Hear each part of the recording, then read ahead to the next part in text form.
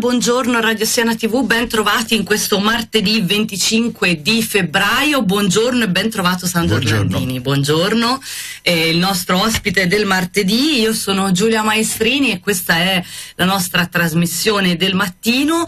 Prima di cominciare vi ricordo il nostro numero di telefono per contattarci con eh, messaggi Whatsapp, Whatsapp vocali eccetera, il 339 1520 060, raccontateci anche le vostre esperienze con le notizie delle- de- che arrivano dai nostri giornali. Con Sandro Orlandini cominciamo come sempre a dare un'occhiata alle pagine nazionali che poi ho in questo momento nazionale, regionale, locale è tutto un unico grande, eh, enorme calderone che sta sotto Il è il nome coronavirus che ahimè insomma sta eh, diventando l'unico protagonista di queste nostre giornate un po' fra eh, le, le notizie che chiaramente si susseguono, si sviluppano un po' il panico, un po' la psicosi, un po' chi dice no, eh, non ne suc- sta succedendo, insomma c'è una grande confusione. Noi ci atteniamo ai fatti e andiamo a leggere le prime pagine dei giornali nazionali. Corriere della Sera innanzitutto che titola? Altri quattro morti ma i focolai sono gli stessi, virus, Conte attacca l'ospedale lombardo e fa riferimento a quello di Codogno, potremmo rivedere le deleghe alle regioni, ehm, Fontana parole irricevibili. Questi sono i temi di ieri eh, che si ritrovano anche su Repubblica, eh, che poi a- allarga lo, lo- lo sguardo agli aspetti economici del virus, ovvero, ovvero eh, titola Repubblica il virus contagia i mercati, bruciati in borsa 30 miliardi, vola lo spread, cade anche Wall Street, eh, Conte striglia le regioni, basta caos o tolgo le deleghe sanitarie. E poi la questione virus, i morti salgono a 7, 229 gli infetti, traffico ferroviario in tilt nella zona rossa, ritardi di 5 ore per l'alta velocità. Ecco, i temi. Allora, da una parte il tema sanitario, 7 morti, 230 feriti, ricordiamo, eh, feriti contagiati, scusate, ricordiamo che i decessi fino ad ora sono quelli, fra virgolette, che ci aspettavamo, ovvero pazienti anziani, pazienti con pregressi problemi, pazienti oncologici, insomma, chiaramente con un quadro clinico mm, già molto compromesso, Sì, dove il no, coronavirus ieri ho è stato un po'... dire tra le tante cose eh, ma preoccupiamoci fino a un certo punto tanto colpisce eh, le persone da 60 anni in su. Ma ecco io ho detto accidenti Da 60 anni è un po' presto." porca miseria. No così ho sentito dire. E quindi vabbè però effettivamente eh, le, le cose sono come si legge come te anche ora ricordavi insomma eh, i decessi riguardano persone con patologie gravi come probabilmente sarebbe accaduto Con con, altro tipo con altri tipi con altri tipi di influenza e come eh, tutti gli anni accade insomma con, eh, eh, con l'influenza. Tuttavia la situazione è oggettivamente eh, oggettivamente preoccupante Ieri c'è stato anche questo dato più politico, no? che è questa polemica fra Conte e eh, i governatori delle regioni, i presidenti di regioni. Fra l'altro stamani Conte ha indetto proprio un, eh, un- una call, eh, insomma, in- collegati in videoconferenza a tutti i eh, presidenti e direttori di regione stamani alle 10 perché lui dice basta caos o vi tolgo le deleghe, cioè ha fatto questa sorta di minaccia dicendo le regioni è vero che hanno le deleghe sulla sanità, però in questo momento bisogna avere un andamento eh, coerente Certo. e composto e non limitarsi alle, alle iniziative estemporanee di ognuno perché sennò qui diventa il caos. Alcuni dei governatori, soprattutto quelli più coinvolti come Fontana, il governatore della Lombardia, si sono molto irrigiditi su questa sua affermazione. Aspetto, certo. Ma d'altronde forse ha anche ragione, no? Cioè è vero, No, eh. nessuno tocca le deleghe delle regioni a cose normali, ma in un momento di emergenza che coinvolge magari tutto il paese forse ci vuole un, un- un coordinamento. Eh, ci sono alcuni commentatori che sostengono che questo coordinamento forse è addirittura arrivato in ritardo. Eh, nel senso che già precedentemente sarebbe stato eh, utile un indirizzo eh, più omogeneo eh, per tutti quanti. Eh, è indubbio, insomma, comunque che la necessità del coordinamento eh, sia importante perché quello che è stato chiamato il federalismo sanitario eh, forse in questo caso non, eh, in questo caso, eh, non funziona, non insomma, ehm, eh, ci vuole una concertazione, una collaborazione, ma un indirizzo più unitario possibile per evitare appunto ehm, iniziative molto differenziate. Fra l'altro Conte ieri ha proprio detto no alle iniziative che non siano necessarie, cioè no all'eventualità di sindaci o governatori di sì, regione che vogliano chiudere scuole, fare cose, lui dice la... si fa solo quello che serve. Certo è la questione della chiusura delle scuole e di altre eh, attività eh, pubbliche eh, che è quella insomma, che ha colpito maggiormente. Liguria casi non ne sono stati individuati eppure le scuole sono state chiuse, in Toscana di casi non ne sono stati individuati, le scuole sono aperte. Beh, insomma, come è necessario comportarsi? Con le scuole e con altre e cose, il calcio, manifestazioni sportive, insomma, per arrivare a Siena e ora parleremo. Insomma, ne parliamo, ne parliamo, infatti. Strade bianche. Arriviamo anche a Siena. Vi segnalo infine sulla Repubblica una interessante intervista a Piero Angela che dice, eh, il titolo dice non cambiate la vostra vita e eh, insomma magari vale la pena leggerla perché in questo momento di caos sarebbe bene affidarsi a chi ha fatto della scienza e delle della razionalità un faro e non a tutto sto bailamme di chiacchiere di, da certo. social network. Forse più che le scuole bisognerebbe chiudere Facebook in certo. caso di emergenza eh. sanitaria, forse ci aiuterebbe. Rimangono un paio di questioni, no, magari un paio sole, rimangono molte questioni, tra le molte questioni anche quelle eh, del uno eh, il eh, motivo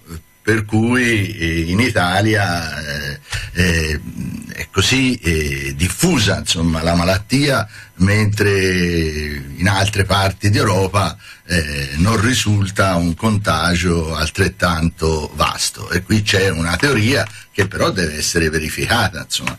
che facciamo più controlli. Sì, ecco, che facciamo più controlli. Per, un verso c'è da sperare che sia una teoria eh, falsa, perché è meglio ovviamente che in Francia, in Germania, in Spagna eh, i casi rimangano limitati. Tuttavia insomma, l'interrogativo rimane e una risposta possibile è quella dei maggiori dei maggiori controlli. Qualcuno ha anche detto che abbiamo sbagliato a chiudere i voli diretti dalla Cina perché abbiamo permesso in realtà il rimbalzo da voli indiretti, quindi eh, dagli vabbè, scali ma, che non erano controllabili. Ma questa cosa, questo ragionamento funziona fino a un certo punto perché eh, gli Come altri paesi europei dovevano arrivare anche di là, no? Eh. Gli altri paesi europei no, non hanno eh, interrotto né voli indiretti né, né quelli diretti. Eh, di conseguenza funziona appunto fino eh, a un certo punto. Certo, forse eh, qualche controllo maggiore anche sui voli eh, indiretti sarebbe stato visto che eh, si era presa questa strada molto decisa, molto rigida, per la quale la stessa Cina aveva eh, protestato, eh, di fare controlli maggiori anche mh, sui voli sui voli indiretti, ma non può essere questo il motivo di fondo della differenza insomma, di entità del contagio fra l'Italia e gli altri paesi europei che hanno assunto misure meno restrittive di quelle dell'Italia stessa. L'ultima cosa è che stiamo provando un po' sulla nostra pelle che cosa significa essere in parte, tra virgolette, discriminati. Eh sì. Perché con tante richieste di chiusura dei confini da parte dell'Italia Stavolta. si cominciano a vedere eh, segnali di chiusura degli altri nei confronti l'Austria ha chiuso il Brennero l'altro giorno sì, è stato fermato ora. dei pullman sì, provenienti dalla Francia sì, cioè in Francia provenienti dall'Italia è stato fermato perché una signora ha, si è impaurita, si è impaurita perché l'autista tossiva ha chiamato la polizia che doveva fare la polizia francese ma cioè, però il clima è un po'... Ci guardano questo, un po'... Anche dentro l'Italia, le regioni meridionali, la Basilicata, eh, che chiedono una quarantena per eh, i loro studenti fuori sede, essendo stata chiusa l'università in Lombardia, possono tornare, eh, eh beh, eh, anche questo è un segnale, insomma, di, di, di, di E ieri molti genere. citavano eh, Manzoni quando racconta proprio della peste con i dovuti distinguo che dice proprio uno dei frutti della peste è mettere l'uomo contro l'uomo, no? i vicini contro Certo. i vicini, i fratelli contro i padri perché si ha paura e la paura fa sì che eh, smettiamo di essere uomini e diventiamo nemici Certo. e forse un po' ora con tutte le dovute Eh, proporzioni Sì, sì, e. Manzoni in questo modo rileggeva il Boccaccio, eh, Esatto, l'introduzione certo. al Decameron dove eh, relativamente alla peste del 1348 si fanno esattamente queste medesime. Sarebbe medesime bello se il coronavirus dette, desse fortuna- voce a un altro Decameron, ma non credo che Ecco, andrà no, così. Comunque per fortuna il coronavirus non sembra La peste del del, 1300. 1348 né quella del 600 descritta dal Manzoni. Manzoni. Per fortuna, ma ahimè, non darà un altro Decameron né nemmeno degli No, altri promessi no. sposi. Quindi noi ci fermiamo, andiamo in pubblicità e poi torniamo a parlare un pochino più ristretto di quello che accade intorno a noi.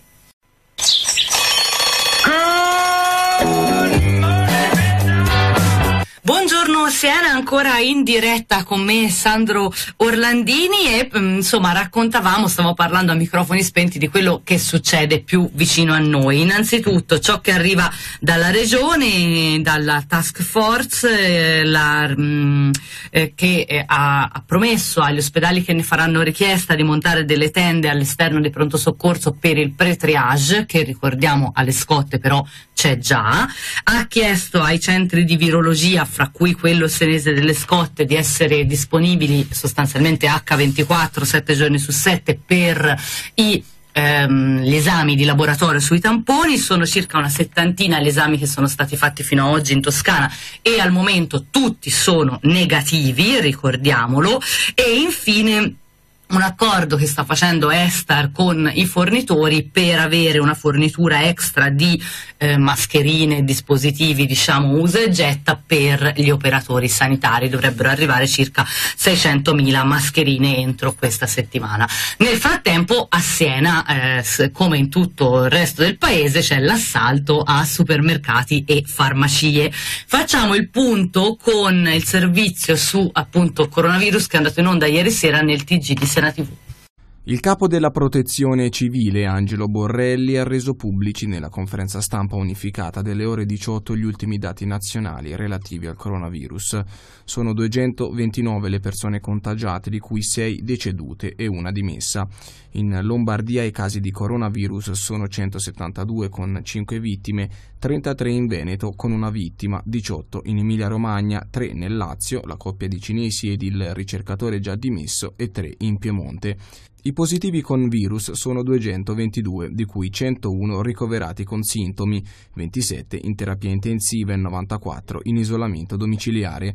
Nessun caso quindi per il momento in regione toscana. A commentare gli ultimi dati è Emanuele Montomoli, professore ordinario presso il Dipartimento di Medicina Molecolare e dello Sviluppo dell'Università di Siena. I decessi sono soggetti che già di per sé non stavano bene, avevano delle patologie pregresse e quindi ovviamente l'infezione da coronavirus le ha esposte poi ad una sovrainfezione che le ha portate fino alla morte. La situazione sta evolvendo esattamente come l'epidemia ci aveva dato segnale fin dall'inizio, cioè il virus si trasmette per via aerea, quindi eh, il caso primario diciamo così ne genera altri che poi ne generano altri ancora che poi a sua volta ne generano altri ancora. E quello che viene riportato dai media nazionali, cioè 250 casi, 300, quanti sono, ormai abbiamo perso il conto in Italia, è a mio avviso la punta dell'iceberg. Avessimo a disposizione uno strumento per monitorare veramente quanti sono i soggetti infetti in Italia, sarei più pronto a scommettere eh, su 10.000 che su eh, 1.000, insomma, prima ho detto addirittura su 50.000, ma insomma eh, i, i casi saranno senz'altro molti di più.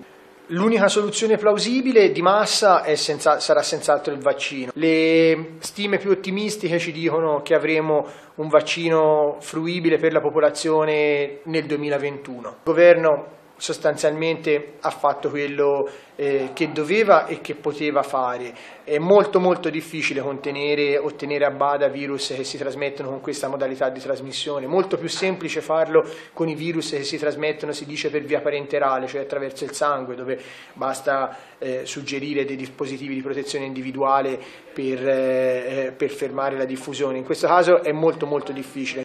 Ecco qua, queste erano eh, il, il, punto appunto sulla situazione nazionale e le parole di Emanuele Montomoli. Eh, stavo eh, mi stavo, ero distratta perché stavo leggendo una ultima ora che viene battuta dalla Repubblica, secondo la quale ci sarebbe un primo caso di tampone positivo per coronavirus in Toscana. Si attende la conferma dall'Istituto Superiore di Sanità. Si tratterebbe di un imprenditore di 60 anni che ha aziende in Oriente che si è presentato ieri pomeriggio all'ospedale di Santa Maria Nuova a Firenze. Ora, chiaramente è una ultima ora Mm, che eh, appunto è data da Repubblica di Firenze, mh, mm, aspetto, aspettiamo, vediamo un attimo come si sviluppano le cose in giornata. Dicevamo anche eh, ieri, anche a Siena, eh, l'ondata di panico e di follia che ha portato agli assalti al supermercato. Ci sono queste foto di eh, scaffali desolanti come nemmeno lo si aspettasse l'apocalisse, gente che ha portato via carrelli per mangiare scatolame per mesi, sì, sì, eh, acqua come se l'acqua certo. dell'acquedotto non fosse bevibile più a Siena, beviamo tutti da anni l'acqua dell'acquedotto. Comunque comunque. E farmacie non ne parliamo, gel igienizzanti e mascherine come ormai venduti, credo, sul mercato nero a, a peso d'oro. Assolutamente, da questo punto di vista la situazione senese eh, non è molto differente da eh, quella insomma, di tutta Italia. Eh, è una forma di eh, panico moderato perché potrebbe anche diventare, sì, potrebbe diventare anche, anche più pesante. Si tratta di precauzioni, eh, ognuno l'ha presa dicendo ma io non mi voglio far contagiare da questa preoccupazione, però insomma qualche cosina metto da parte, sommate tutte le qualche cosine, il risultato è stato lo svuotamento delle farmacie e dei supermercati, in particolare di alcuni prodotti. Mi è capitato di vedere eh, lo scatolame appunto scomparso. Tonno, che, fagioli, esatto, queste fagioli, cose così. piselli, il che significa se, come c'è da sperare, Siena non dovrà chiudere come la zona rossa del eh, Della... Lodigiano, ci saranno famiglie che si mangeranno fagioli, ceci e piselli per, per tutti i prossimi mesi, tonno scatola eh, e così via. E, mh, eh, un'altra cosa eh, uno scaffale la pasta era quasi completamente sparita, c'erano rimaste solo le penne lisce. Le famose penne, penne lisce, lisce, che ieri sono diventate protagoniste dei social, perché social. nessuno vuole le penne perché lisce. Evidentemente le penne lisce non piacciono. Diciamo quindi, che le aziende eh, che fanno la pasta la dovrebbero usare come indagine di eh, mercato per rivedere le loro forniture. Nemmeno la preoccupazione insomma, della chiusura dal coronavirus fa comprare le penne lisce. Eh, vabbè, eh, ci si sta scherzando un po' certo. sopra, però il fenomeno c'è stato, ma ovvia- ovviamente tutti i nostri supermercati saranno già da oggi completamente riforniti. Beh, immagino di sì, anche se sentivo l'intervista stamani sulla Radio Nazionale a un corriere, un, corriere, un, un, sì, sì, un camioncino del consegne del farmaceutico certo. che diceva che loro sono nel panico perché hanno una quantità di richieste allucinanti, hanno triplicato il volume di roba che devono consegnare alle farmacie e quindi insomma è, è complicato. Ora certo bisogna capire se fosse confermato questo caso a Firenze potrebbe scattare anche per la regione toscana le misure, potrebbero scattare le misure delle altre regioni contagiate con la chiusura delle scuole e dei luoghi pubblici e questo chiaramente sarebbe un problema. Però ripeto è una ultima ora battuta dalla Repubblica, aspettiamo di eh, capire un po' meglio durante la giornata come si sviluppa la cosa. Ci dobbiamo fermare ancora un attimo, poi torniamo.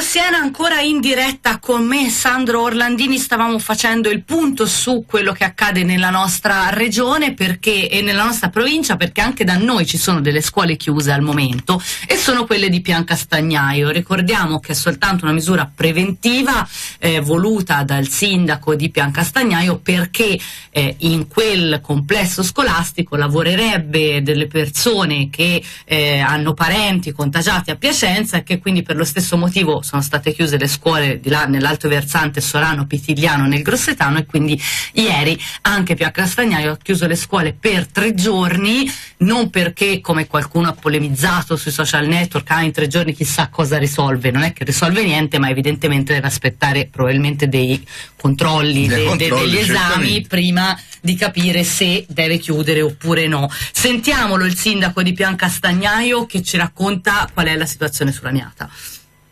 Quello di Pian Castagnaio non è un'ordinanza di allarmismo, è un- un- un'ordinanza di prudenza per esaminare tutte queste questioni che sta- di cui si sta parlando, di cui si sta monitorando, si parla che ci sono delle persone che sono eh, ora in questo momento monitor- monitorate, sono arrivate anche delle persone della Cina, ma anche loro non hanno nessun, nessun, nessuna diagnosi di questo tipo, le facciamo monitorare tutte e poi eh, riapriremo le scuole e tutto, però per una questione di prudenza logicamente abbiamo preso un provvedimento del genere. Ecco qua, queste le parole del sindaco di Piancastagnaio. Nel frattempo annullati molti degli eventi sportivi, la Robur stasera non gioca, fermo il campionato della pallavolo e insomma eh, No, fe- sono- feste di carnevale, un sacco di cose che si fermano. Sono misure prudenziali, eh, particolare questa di Piancastagnaio molto prudenziale, ma eh,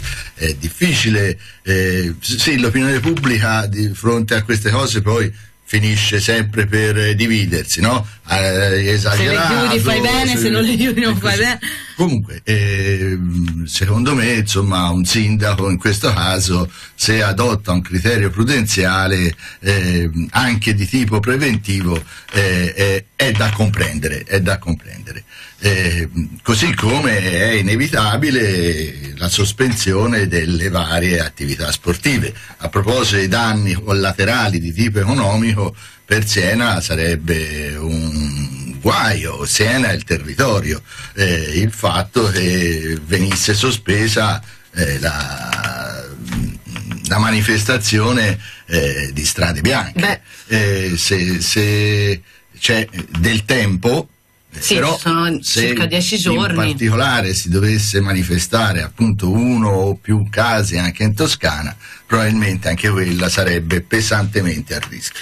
Intanto vediamo su un pezzo del Corriere Fiorentino di oggi che comincia a fare il conto su appunto l'economia e eh, c'è questo pezzo della Silvia Ognibene che dice distretto del lusso primo stop perché eh, chiaramente ordini giù del 30% a Scandicci, le chiusure della Cina, l'effetto zona rossa nel nord e c'è un rischio di cassa integrazione. Questo è l'impatto del coronavirus sul distretto della pelle di Scandicci e sull'intero distretto potrebbe essere pesantissimo. E in questa zona sono racchiuse 500 aziende con oltre 8.000 addetti e un export da 2 miliardi, quindi chiaramente un polmone importante per eh, la Toscana. Questi sono prime- i primi effetti e quelli sul turismo di cui parlavamo potrebbero essere poi mh, ulteriori. Vedremo, vedremo anche oggi come si sviluppano le cose, su questo tema siamo sempre molto a rincorrere perché chiaramente è in evoluzione. Cambiamo pagina, eh, parliamo di una storia che sta a cavallo fra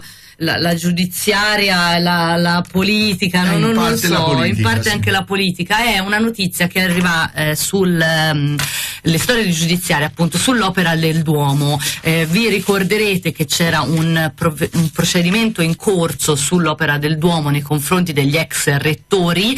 Bene, ieri è arrivata la soluzione, l'archiviazione, anzi L'archiviazione. addirittura, quindi non si va a processo. Opera del Duomo si legge su La Nazione, archiviazione per gli ex rettori. Il PM chiude l'inchiesta sulla natura di onlus della fabbriceria. Nessun falso in bilancio né dichiarazioni fraudolente sull'appalto dei biglietti. appalto che ricordiamo è quello con Opera Laboratori Fiorentini, eh, la società fiorentina che da molti anni è il gestore eh, di Opera del Duomo e poi divenuto anche, anche de, del Santa Maria vari, della Scala sì. e di varie altre realtà. Quindi c'era stato un esposto di otto dipendenti nei confronti della, dell'OPA, del, del direttore dell'OPA e invece non se ne è fatto di niente, sì, giusto? È arrivata all'archiviazione. Eh, la vicenda, no, la vicenda eh, ha avuto importanza eh, in passato, ehm, nel senso che è nata appunto dall'esposto di alcuni lavoratori di eh, ehm, opera metropolitana eh, per un'avvertenza con eh, con opera stessa e mh, poiché questi lavoratori erano difesi eh, dall'allora avvocato De Mossi pronto a scendere in campo per le elezioni, eh, la cosa venne in qualche modo utilizzata ehm, dai social, eh, nel dibattito pubblico, insomma, come un elemento di eh, campagna elettorale. Cioè che in qualche modo faceva eh, causa sì, a una delle principali era, istituzioni esatto, culturali un, della città. Un eh, modo per eh, presentarsi come antisistema, quel sistema eh, che vedeva in quel momento collaborare opera con il comune per quanto riguardava il Santa Maria della Scala e altri, altri musei collaborazione peraltro è rimasta e è tuttora, certo. È tuttora in corso. Eh, l'avvertenza degli otto lavoratori si è risolta con loro piena soddisfazione. Ora è arrivata anche questa archiviazione, eh, è il caso di dire tutto bene, tutto è bene fin- quel che finisce quello bene. Che finisce bene. Quindi niente, è archiviazione per loro e quindi di, di fatto il fatto non, non, non, sussiste, insomma non si sono eh, riscontrati i reati, reati. La finanza è stata varie volte insomma, a spulciare tutti quanti con, i conti eh, di, eh, di, opera e, e beh, questo è il risultato. Bene, eh, infine ancora un po' di notizie a, volo d'uccello perché oggi siamo un po' stretti sulle altre pagine, quindi bisogna un pochino eh, stringere le questioni. Ieri approvato il nuovo protocollo di addestramento per i cavalli del palio, io non ho idea di che cosa si tratti perché figuriamoci non, eh... non, ho mai fatto l'esperta di, di, cavalli né di palio e quindi non ho Io, intenzione di cominciare te... adesso però per gli appassionati sappiate che appunto ha approvato il nuovo protocollo e poi d'altronde ormai si comincia a, a veleggiare verso le corse di primavera e, in, e ultima notizia così di colore una nuova iniziativa tanto successo aveva riscosso l'anno scorso l'album delle figurine dei, delle contrade dove insomma c'erano tutte le foto delle contrade, dei territori, delle monture eccetera. Secondo capitolo presentato ieri in comune eh, figuriamoci Siena. Questa volta è un viaggio sempre un album delle figurine ma viaggio nella città. E sono a me mi fa sempre sorridere queste cose perché sono cose che solo a Siena possono succedere perché nessun'altra città secondo me avrebbero successo successo con questo forte piglio identitario che abbiamo noi, no? Sì, probabilmente è così. Eh, o comunque eh, a Siena c'è un qualcosa di più, un'aggiunta. Se eh, eh, quest'album avrà lo stesso successo dell'altro, eh, sarà eh, indubbiamente una cosa positiva, sia per chi l'ha promosso, sia per eh, gli scopi eh, benefici che l'iniziativa eh, ha, sia perché magari tanti giovanissimi eh, e anche qualche d'uno meno giovane ma che ha la passione insomma, per gli album di figurine appunto potranno imparare qualcosa e scoprire qualche curiosità che non conoscono sulla loro città. E magari alleggerirci anche un po', visto che parliamo sempre di cose pesanti, altrimenti. Siamo in chiusura, grazie Sandro Orlandini, ci vediamo la settimana prossima. Senz'altro. Buona giornata a te e noi ci eh, facciamo la nostra pillola del martedì di cultura e spettacolo, andiamo da Emilio Mariotti che ci parla delle celebrazioni per i cento anni di Federico Tozzi. Aspettando di vedere come le problematiche legate al coronavirus possano poi incidere sugli eventi culturali, quali attività teatrali, ehm, esposizioni museali e concertistiche, eh, vogliamo segnalare una buona notizia eh, di cui avevamo parlato eh, tempo fa, cioè quello sulle celebrazioni dei 100 ehm, anni della morte di Federico Tozzi, il più grande scrittore senese del Novecento. Ehm, le iniziative inizieranno il 21 marzo eh, nella sala del Mappamondo eh, con un dialogo tra lo scrittore Antonio eh, Moresco e il critico Romano Luperini. A seguire ci sarà una presentazione teatrale di, ehm, tratta diciamo da un, un romanzo incompiuto di Tozzi, cioè Adele. Eh, saranno molte le iniziative, è inutile fare un elenco, sperando poi che queste iniziative abbiano poi un rilievo non solo locale ma anche eh, nazionale e internazionale, perché il valore di Tozzi eh, merita questo e altro. Eh, mi piace sottolineare un aspetto di queste celebrazioni, cioè eh, l'aspetto dedicato al, alla, dire, al coinvolgimento dei giovani, perché è importante che i giovani scoprano Tozzi. È stato fatto eh, a proposito un concorso, eh, come eh, leggo io si chiama questo concorso e, co- e coinvolgerà mh, mm, gli studenti delle, delle, medie, delle superiori e delle università e eh, sarà una come dire, una competizione per uh, vedere quali uh, riletture uh, della, mh, mm, della, narrativa toziana sono uh, le più meritevoli. Riletture che, non, uh, che potranno essere dire, prodotte attraverso uh, tesine, vere e proprie tesi universitarie e, e opere multimediali. E questo è anche interessante proprio il fatto della possibilità di, di un'espressione attraverso le opere multimediali, quindi per avere anche un gusto e una visione contemporanea. Eh, quindi vediamo, speriamo che eh, la partecipazione eh, dei senesi e dei ragazzi senesi, degli studenti fuori sede e di eh, persone di tutto, tutta l'Italia, tutto il mondo possano eh, eh, rendere viva e, e, possibilmente sia una ripartenza per la riscoperta di questo grandissimo scrittore.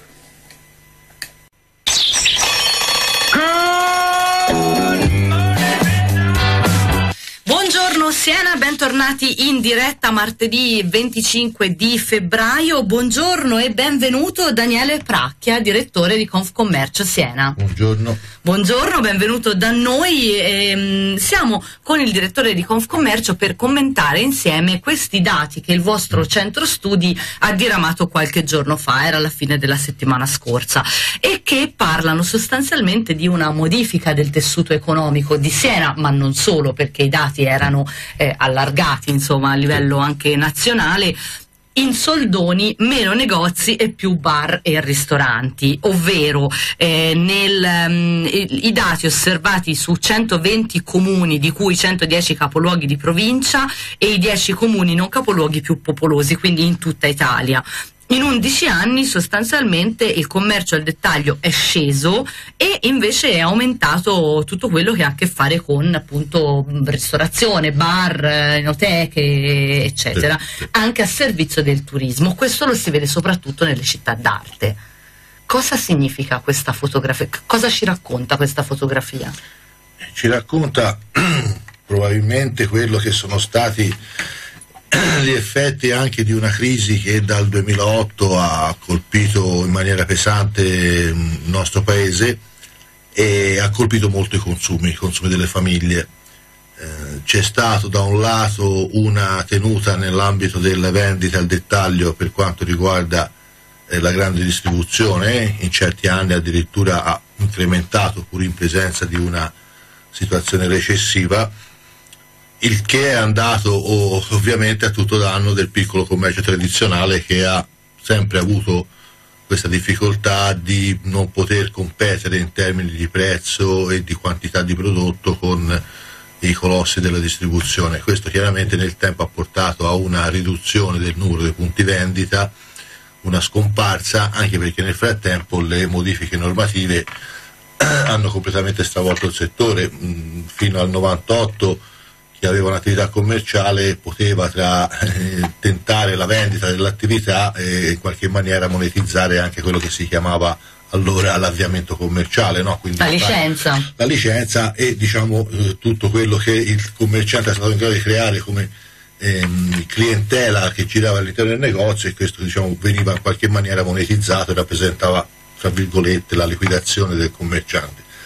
Dopo il 98 con, la, con il decreto Bersani e la liberalizzazione completa delle attività, tutto questo è venuto meno, quindi eh, man mano diciamo, il commercio al dettaglio è sempre stato eh, più indebolito in questa situazione, poi la crisi ovviamente ha dato probabilmente anche un, una grossa mano alla, alla, alla, fase recessiva e piano piano molte attività diciamo, sono state costrette alla chiusura proprio perché mancava a quel punto lì la sostenibilità economica. Eh, un negozio eh, sta aperto fin tanto che c'è motivo di, di farlo, quindi cioè fin tanto che i ricavi sono, certo. giustificano i costi, dopodiché poi diventa un, un massacro e soprattutto le, le, persone più anziane, su quelle che hanno diciamo, portato avanti per maggior tempo le attività, a un certo punto hanno deciso giustamente, dico io, di tirare giù il bandone perché non è più possibile, cioè è assurdo mangiarsi magari il frutto di 40 anni di lavoro per restare un po' aperti. Per tenere aperto mh, mm, qualche giorno in più.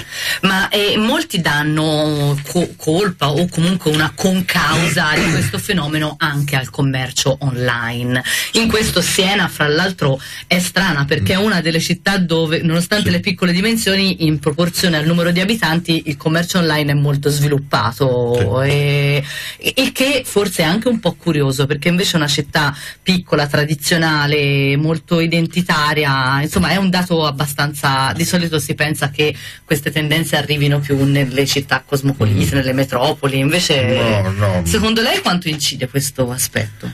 Ma eh, il commercio elettronico incide molto. A Siena, tra l'altro mi ricordo i dati che ci fornì il prefetto l'anno scorso parlando di un'analisi generale delle, delle truffe, esatto, caso sì. delle truffe e rilevò che Siena era ai vertici nazionali esatto. per quanto esatto. riguarda le truffe Perché online. compriamo online ma non siamo capaci, diciamo così. Vabbè, comunque diciamo che eh, vabbè, questa è una chiave di lettura, l'altra chiave di lettura è che essendoci molte transazioni online certo. è più alto anche il livello delle truffe. Ora io non sono in grado, io non frequento obiettivamente, ma proprio per, mm, mm, perché mi dà fastidio il concetto di comprare qualcosa e non vedo ma al di là di questo eh, è un dato di fatto che eh, diciamo, sfrutta al di là della, della, gradimento del consumatore che ci può essere e, e posso capirlo, sfrutta tanto il fatto che queste multinazionali ancora ad oggi eh, sfruttano la, eh, il bacino dell'Italia nel suo complesso come bacino dei consumatori, eh, lasciando sul territorio però pochissimo rispetto a ciò che prelevano le tassazioni non la pagano perché viene pagata nei paesi d'origine, quasi sempre sono paesi a basso regime fiscale e l'occupazione, abbiamo visto fenomeni legati ad Amazon, ai corrieri, eccetera, è assai quantomeno precaria e comunque di basso costo. Teniamo conto che un commesso di un negozio mediamente costa all'esercente dai 2.200-2.400 euro, parlo di costo aziendale, naturalmente purtroppo lo stipendio è, è molto più basso. basso, è circa la metà si fa presto a fare il conto, però a, a un piccolo commerciante una persona costa 2.400 euro quando magari si vede che per certi colossi della, del commercio online con 2.400 euro ci pagano 4 persone e ne ci avanza anche qualcosa. È chiaro che è una situazione di squilibrio totalmente, eh, totalmente, a sfavore del commercio tradizionale e in questo caso diciamo, si annulla anche la differenza fra piccolo negozio e grande distribuzione o comunque istituzione organizzata perché e il commercio online eh, picchia addosso a tutti in maniera indistinta. Ora poi si stanno spostando anche sulla, eh, sulla parte diciamo somministrazione, per questo discorso appunto, della consegna al domicilio che sicuramente non è un buon, eh, un buon viatico per quello che ci riguarda perché questo vuol dire andare ulteriormente a diminuire la presenza all'interno dei locali, dei ristoranti e soprattutto, secondo noi, anche una forte diminuzione della socializzazione delle persone che poi porterà inevitabilmente a, al, vuoto pneumatico all'interno certo, di certi meccanismi. Stare è fuori è anche cultura, è incontro, è relazione, è socialità per l'appunto e anche... Lo, luogo d'eccellenza dell'incontro e della socializzazione è sempre il bar, il ristorante, la tavola, comunque, comunque la tavola, ecco annullare anche questo e ridursi a stare di fronte a un televisore, ordinare con lo, con lo smartphone, mangiare, insomma obiettivamente fa un po', fa un po effetto, forse cominciamo a essere troppo anziani per questo. So. Mi chiedo e le chiedo perché questa modifica del, del, commercio diventa anche inevitabilmente una modifica del tessuto urbano, no? E spesso ci lamentiamo nelle città d'arte, questa è una battaglia per esempio che Firenze sta facendo a spada mm. tratta contro il cosiddetto mangificio, mm. ovvero quelle strade del centro storico, in particolare del quadrilatero, diciamo intorno a Piazza della Signoria, che si sono svuotate di ogni tipo di, mh, mm, quasi ogni tipo di attività per diventare davvero solo schiacce, panini, osterie, vinai, eccetera. Spesso anche con una qualità dubbia, cioè non tutti quelli che aprono ovviamente aprono il, il punto di qualità, ma tanti mm. fanno anche un po' eh, diciamo massa, no?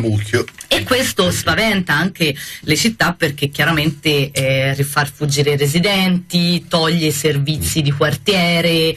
Eh, è, è, un, è, un, gatto che si morde la coda, cioè più turisti vengono, più questo accade, più questo accade, più turisti vengono, oppure cioè, qual è la soluzione no, per uscire da questa spirale? Credo, ora, un fenomeno è complesso e non ho la pretesa di dargli una chiave di lettura assoluta. Io provo a dare la mia chiave di lettura sulla base dell'esperienza di, di questi anni che, di contatto col mondo del commercio.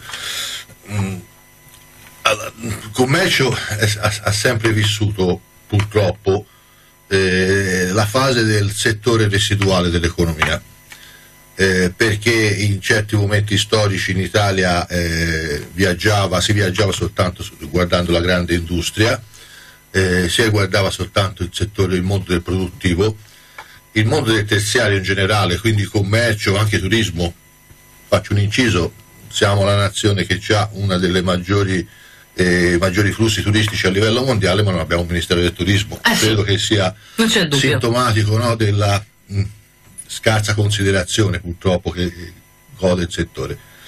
E quindi questo fatto di essere considerato un elemento residuale dell'economia nazionale lo ha sempre tenuto un po' ai margini di quelli che sono stati anche i provvedimenti, gli interventi.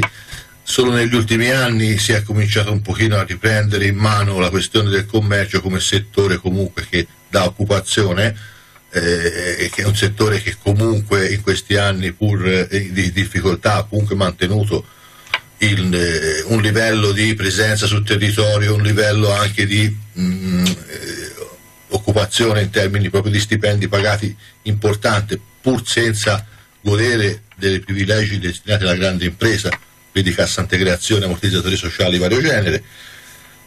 Ora il commercio si trova in una fase eh, appunto di, di, grossa difficoltà perché da un lato eh, i piccoli negozi, dicevamo prima, hanno sempre più eh, difficoltà a mantenersi sul mercato in maniera efficiente e soprattutto economica. Dall'altro c'è una domanda importante che è cresciuta in questi anni di servizi legati al mondo della ristorazione o comunque del food and beverage che in qualche maniera eh, orienta chi deve fare un investimento. Oggi chi, chi si trova a cercare un'occupazione o comunque diciamo ha da investire qualche soldo cosa vede eh, guardandosi intorno? Che oggi le attività che danno una più, risposta più immediata, più contingente, sono quelle legate appunto al settore cibo e, e bevande, soprattutto poi vino nella nostra regione, che è l'elemento principe del nostro, del nostro territorio.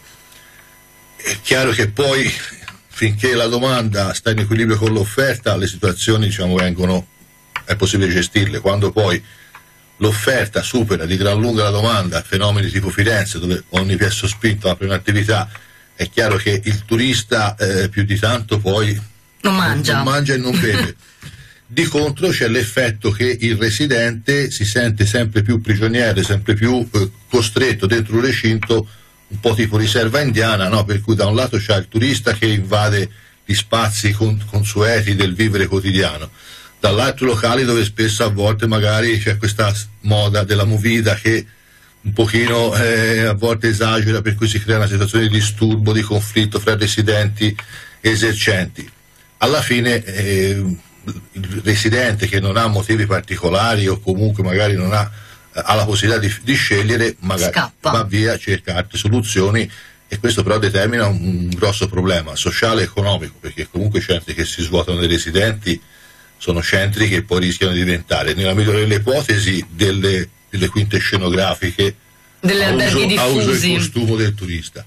Eh, nella peggiore delle ipotesi c'è il rischio che la, la- la- la residenza tradizionale locale venga sostituita da residenza di altro genere, eh, come è successo in qualche città dove magari ci sono interi quartieri che ormai sono diventati delle, delle realtà in mano a- agli extracomunitari, senza nessuna volontà di razzismo, per carità di Dio, però è chiaro che dal punto di vista culturale e sociale è un cambiamento che la città non, non sempre la può vivere in maniera tranquilla e serena e le situazioni di conflitto possono sp- esplodere in qualsiasi momento in certe, in certe situazioni. Ci fermiamo, pubblicità e poi torniamo.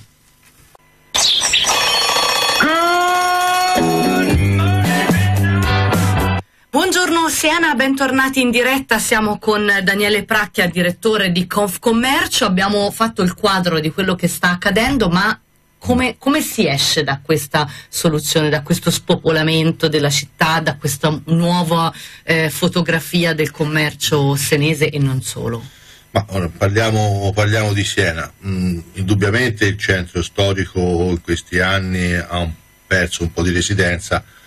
Credo che rispetto ad altri centri diciamo, la situazione sia meno grave oggettivamente, per cui ecco, dobbiamo riportare anche le cose a una realtà delle sue dinamiche e non, eh, non esasperando poi certi processi. Certamente il centro storico di Siena è un centro che ha bisogno di essere rivitalizzato nel suo complesso, non è soltanto un problema mh, commerciale, è un problema direi più, più sociale, mh, quindi riportare la, la- la residenza in centro significa ri- sicuramente rianimare zone della città che in questo momento dopo una certa ora diciamo, sembrano un po' eh, zone, zone rosse, tanto per rimanere su temi di attualità. Eh, come si fa? Beh, non esiste una ricetta, evidentemente, se esistesse sarebbe semplice. La ricetta, in questo caso, penso stia nella capacità di tutti i soggetti che possono svolgere un ruolo su questo, quindi l'amministrazione comunale in primo luogo, perché è, oltre che soggetto titolato a- alla gestione della cosa pubblica locale, ha anche gli strumenti. E le associazioni, i singoli cittadini e gli imprenditori che in qualche maniera possono con le loro idee, con i loro, con i loro suggerimenti aiutare l'amministrazione e anche noi associazioni a indirizzare verso un certo tipo di sviluppo.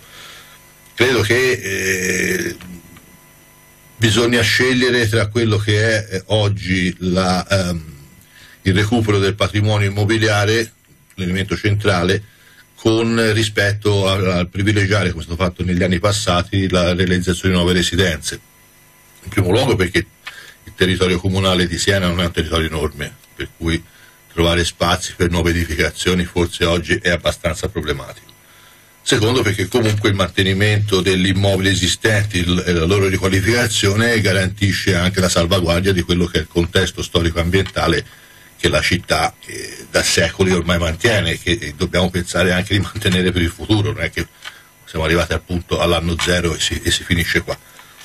Bisogna dare, eh, trovare gli strumenti, incentivare chi è proprietario di immobili a eh, rimettere a posto le sue proprietà, ehm, incentivare chi è titolare di un negozio e magari è proprietario anche dell'immobile a, a magari fare interventi di ristrutturazione, di riqualificazione delle attività, coinvolgere la sovrintendenza che è l'elemento per il centro storico di Siena fondamentale che aiuti e non ostacoli i percorsi di questo genere perché se poi eh, un percorso autorizzativo eh, trova nella sovrintendenza il soggetto che ne fa rinviare per mesi e mesi la realizzazione rischia di essere io credo che con a parte tutte le vicende particolari che ci sono state in questo momento la sovrintendenza sia un soggetto eh, disponibile e disposto a collaborazione per cui credo che sia il momento giusto col quale l'amministrazione e questi enti insieme a noi possono mettersi a un tavolo e cominciare a studiare eh, un progetto vero e proprio di riqualificazione urbanistico-commerciale della città che possa in qualche maniera rappresentare un traguardo futuro su cui puntare.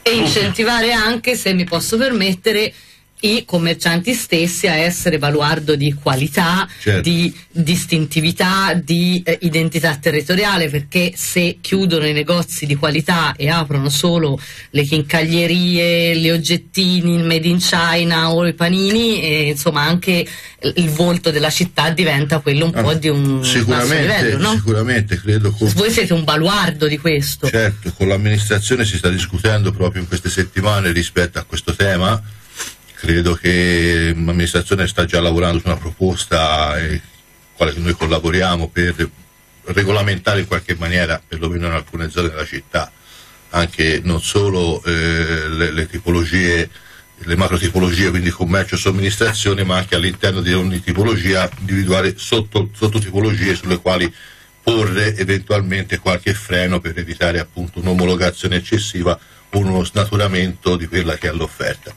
Eh, è un percorso non è facile, però credo che ci possiamo arrivare con eh, col buon senso, prima di tutto, che è l'elemento fondamentale. In questo periodo manca un po' in generale, mi sembra.